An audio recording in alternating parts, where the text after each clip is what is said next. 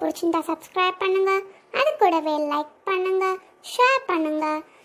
Comment பாக்ஸில் உங்களோட தேவையை கமெண்ட் பண்ணு hi friends welcome to Virudhai kitchen இன்னைக்கு நம்ம பார்க்க போகிறது வாழைத்தண்டு இட்லி.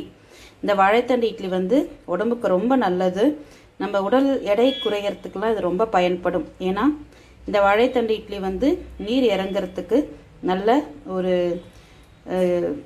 இது நிவாரணமாக இருக்கும். கண்டிப்பாக அதை ட்ரை பண்ணி பாருங்கள் நம்ம உடல் எடை குறையறதுக்கு வாரத்தில் ஒரு தடவையாச்சும் இந்த மாதிரி நம்ம வாழைத்தண்டு யூஸ் பண்ணி செய்யும்போது கண்டிப்பாக நம்ம உடல் எடை கணிசமாக குறையும். இந்த வீடியோ உங்களுக்கு பிடிச்சிருந்தா லைக் பண்ணுங்கள் ஃப்ரெண்ட்ஸ் கூட ஷேர் பண்ணுங்கள் நம்ம சேனலை மறக்காமல் சப்ஸ்கிரைப் பண்ண சொல்லுங்கள் நான் வந்து இன்னைக்கு இதுக்கு மல்லித்தழை சாம்பார் செஞ்சுருக்கிறேன் கூட.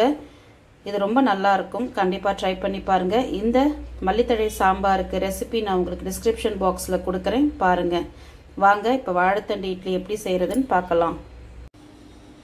நம்ம வாழைத்தண்டு தோசைக்கு இந்த ரோட் சைட் பூண்டு சட்னியும் ரொம்ப நல்லாயிருக்கு. டேஸ்ட்டு கண்டிப்பாக ட்ரை பண்ணி பாருங்கள் இதோட லிங்க்கை வந்து உங்களுக்கு டிஸ்கிரிப்ஷன் பாக்ஸில் கொடுக்குறேன்.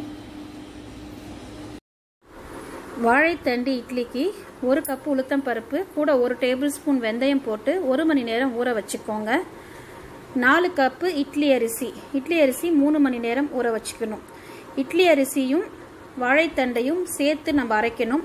ஃபஸ்ட்டு உளுத்தம் பருப்பை தனியாக அரைச்சி எடுத்துடுங்க. அதுக்கப்புறம் இட்லி அரிசியும் வாழைத்தண்டையும் ஒன்றா சேர்த்து நம்ம அரைக்கணும். வாழைத்தண்டு கூட எப்பயுமே கொஞ்சம் தயிர் போட்டு அரிஞ்சிக்கோங்க. அப்போ தான் நமக்கு நல்லா வெள்ளையாக மாவு கிடைக்கும். கலர் சேஞ்ச் ஆகாமல் இருக்கும். இப்போ நம்ம வந்து உளுந்து தனியாக அப்புறம் அரிசி எல்லாத்தையும் ஒன்றா அரைச்சிட்டு பார்க்கலாம்.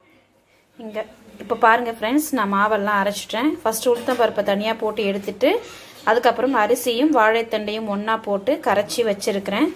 இந்த அரிசி வாழைத்தண்டு மாவை வழிக்கும் போதே அவ்வளவு சாஃப்டாக இருக்குது ஃப்ரெண்ட்ஸ் கையில் மாவு எடுக்கும்போது சாதாரணமாக நீங்கள் அரிசி மாவு எடுக்க எடுக்கும்போது ஒரு மாதிரி கெட்டிமாக இருக்கும் தெரியுங்களா? ஆனால் இந்த வாழைத்தண்டும் இந்த அரிசியும் சேர்த்து அரைச்ச மாவை கையில் வழிக்கும் போதே அவ்வளோ சாஃப்டாக இருந்துச்சு. இப்போ நான் உப்பு போட்டு கரைச்சி வச்சுட்டேன். நம்ம எப்பயும் போல் இப்போ நான் நைட் அரைச்சி வச்சுட்டு நம்ம காலையில் நம்ம இட்லி வைக்க போகிறோம் இது ஏழு எட்டு மணி நேரம் போல் இது வந்து புளிக்கட்டும். காலையில் நம்ம இட்லி வைக்கலாம். ஃப்ரெண்ட்ஸ் இங்கே பார்த்தீங்களா நம்ம மாவு நேற்று கரைச்சி வச்சது. நல்லா ப்ளஃபியாக நல்லா எப்படி பொங்கி வந்திருக்கு அப்படின்ட்டு. இப்போது நான் வந்து இன்னைக்கு வாழைத்தண்டு மா மாவில் வந்து இட்லி வைக்க போகிறேன் நீங்கள் வேணால் தோசை கூட ஊற்றிக்கலாம் ரொம்ப நல்லா வரும் தோசை. நான் வந்து தட்டில் எண்ணெய் தடவி வச்சுருக்கிறேன். இட்லி ஊற்றி பன்னெண்டு நிமிஷம் போல் வேக வச்சு எடுக்க போகிறேன் நான் இட்லி ஊற்றி வேக வச்சு உங்களுக்கு காட்டுறேன். இங்கே பாருங்கள் ஃப்ரெண்ட்ஸ் நம்மளுடைய வாழைத்தண்டி இட்லி வச்சு எடுத்தாச்சு. பார்த்தீங்களா எவ்வளோ சாஃப்டாக இருக்குன்ட்டு. அவ்வளோ சாஃப்டாக இருக்குது சொல்லவே முடியல. நம்ம நார்மல் இட்லியை விட வந்து அவ்வளோ சாஃப்டாக இருக்குது ஃப்ரெண்ட்ஸ் ரொம்ப சாஃப்டாக இருக்குது பாருங்கள் செம்ம சாஃப்டாக இருக்குது கண்டிப்பாக ட்ரை பண்ணி பாருங்கள் அடுத்து ஒரு நல்ல ரெசிபியோடு நான் உங்களை சந்திக்கிறேன். அதுவரை உங்களிடமிருந்து விடைபெறுவது உங்கள் விருதை உமா. தேங்க்ஸ் ஃபார் வாட்சிங்